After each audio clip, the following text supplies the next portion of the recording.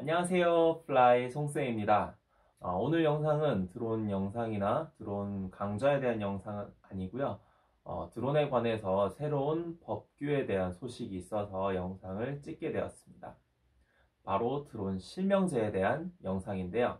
2월 음, 18일에 국토교통부에서 드론 실명제에 대한 어, 법률안이 발표가 되었어요. 어, 굉장히 이제 드론을 하는 입장에서는 중요한 내용이라서 어, 이렇게 영상을 촬영하게 되었고 새롭게 발표된 드론 실명제에 대해서 어, 설명해드리고 어, 이런 부분은 어떻게 해석할 수 있는지 이런 뭐 의미 정도까지 어, 소개를 해드리려 합니다. 아, 드론 실명제와 관련해서 많은 분들이 어, 좀 번거로워 하거나 아 너무 이제 귀찮아진 거 아니냐 이렇게 생각하는 분들도 계신 것 같아요.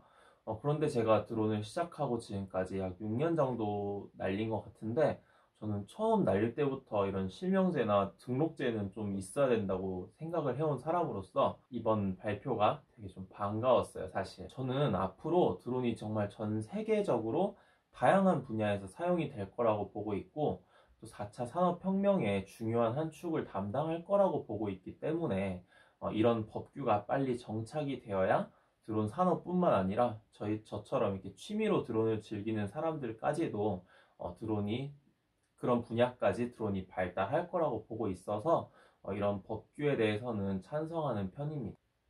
아, 먼저 국토부가 발표한 이번 드론 실명제 도입 배경은 어, 뭐 공항 관제권에서 드론을 날린다든지 아니면 드론이 뭐 차량이나 사, 드론이 추락해서 차량이나 사람에게 피해를 주고 어, 드론을 조종한 사람은 책임지지 않고 도망치는 뭐 드론 뺑손이라고 하죠.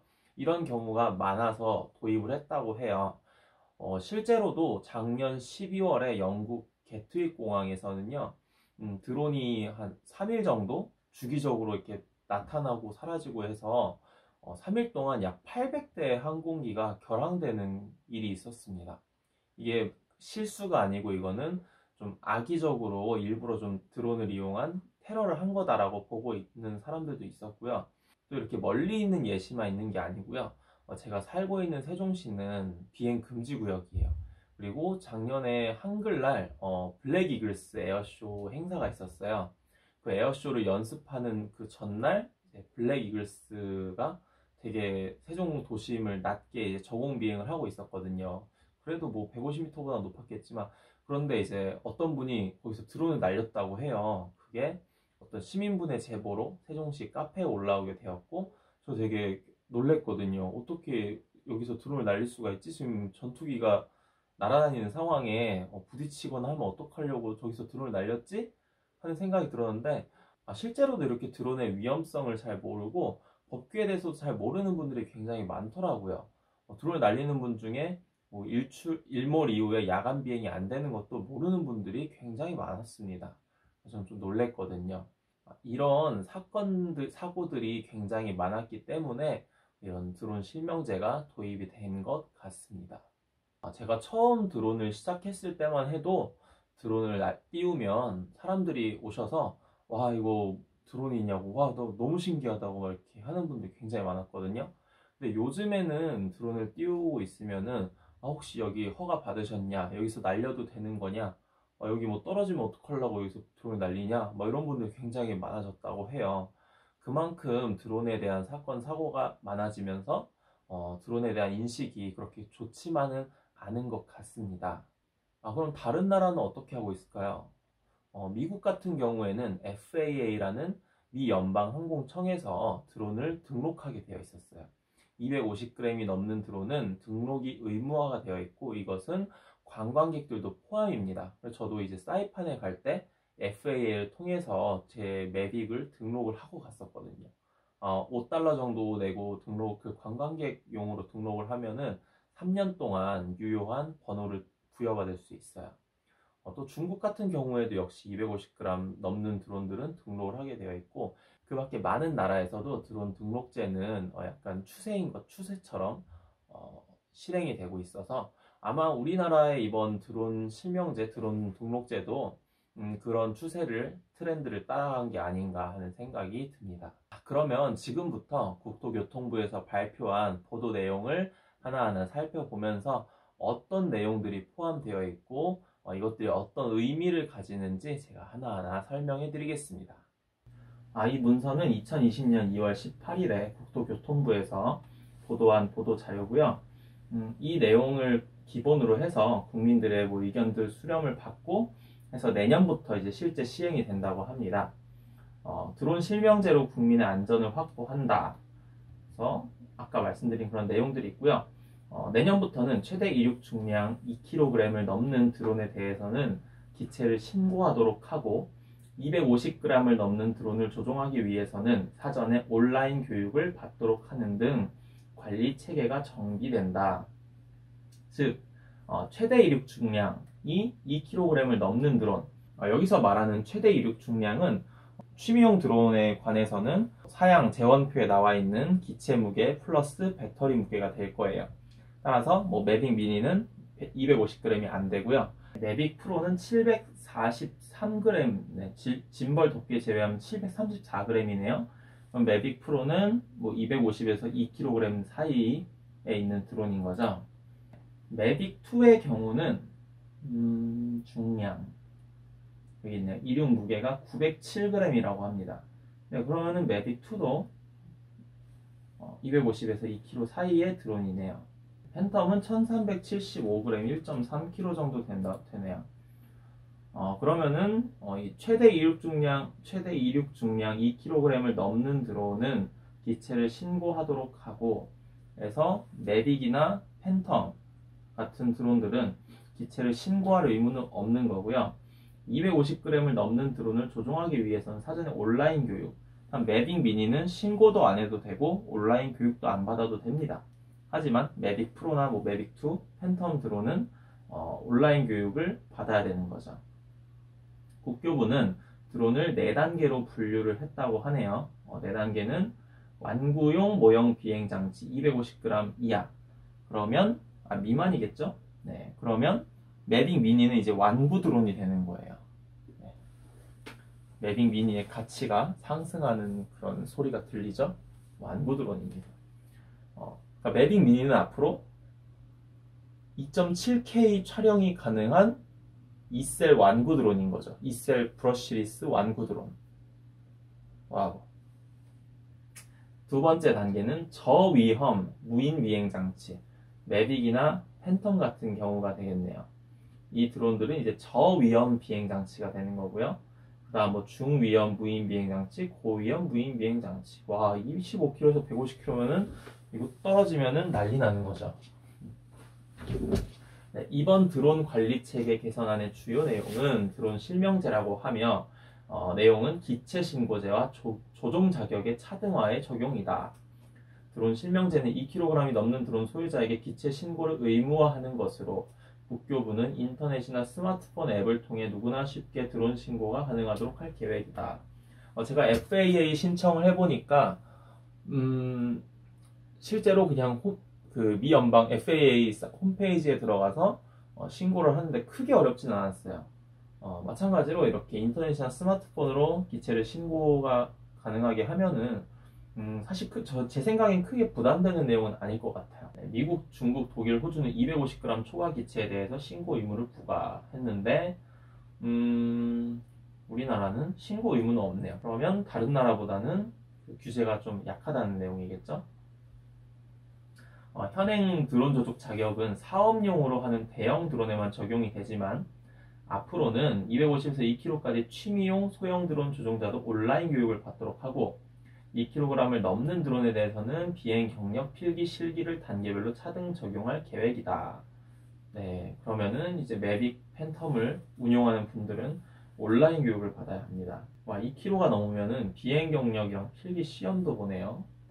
드론을 많이 이렇게 날려본 분들은 크게 어렵지 않을 것 같고 이제 정말로 드론을 이제 막 구입해서 날리는 그런 분들은 조금 이제 공부를 하셔야 될 것 같네요. 그 밖에 뭐 자체 중량과 자체 중량과 최대 이륙 중량은 최대 이륙 중량으로 통일한다.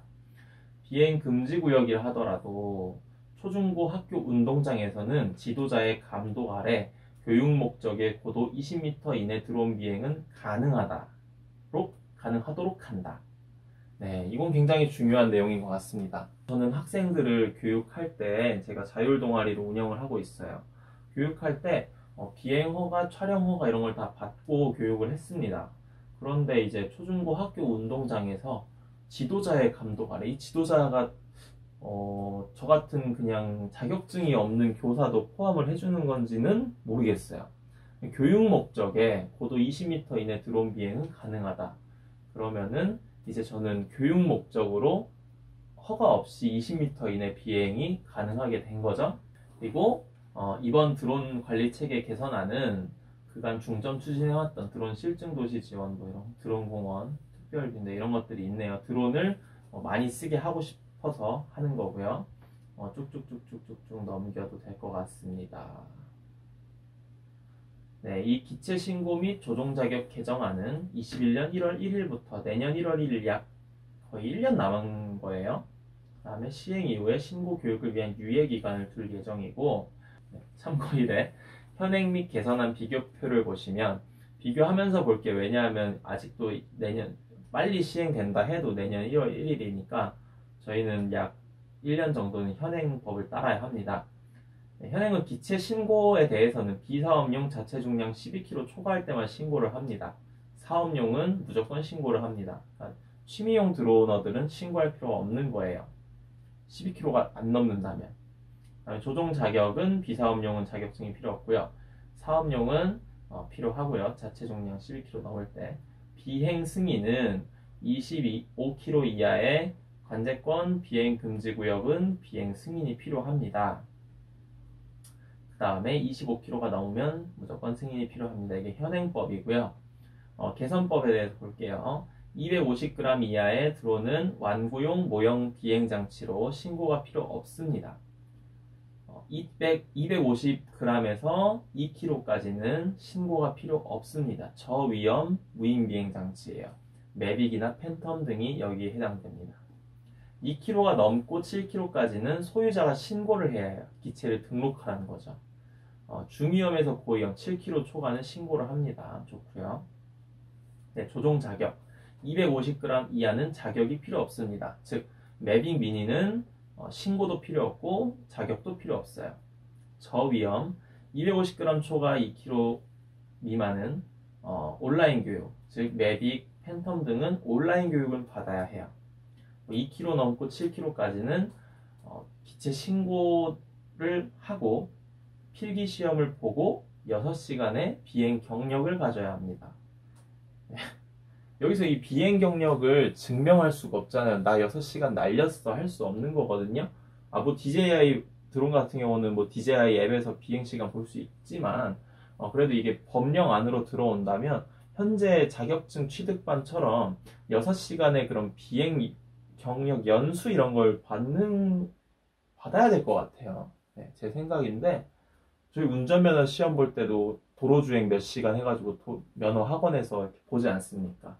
그것처럼 어, 드론 등록에 있어서 나 비행 시간을 증명하기 위해서 어, 교육기관에서 실제로 이렇게 하지 않을까 제 생각입니다. 쭉쭉 넘어가고요. 비행 승인은 아 이게 좀 아쉬워요. 현행 유지를 하되 어, 완구용과 저위험은 현행을 유지하되 비행 금지 구역 내에 교육 목적 비행은 20m 내에서 가능하다로 어, 이제 바뀔 예정입니다. 저는 여기에 항공 촬영에 대한 내용이 없는 건 사실 좀 아쉬워요. 네. 왜냐면은 어, 저위험 무인 비행 장치는 대부분 항공 촬영용 드론이거든요. 레이싱도 있겠지만. 근데 여기에 이제 그렇습니다.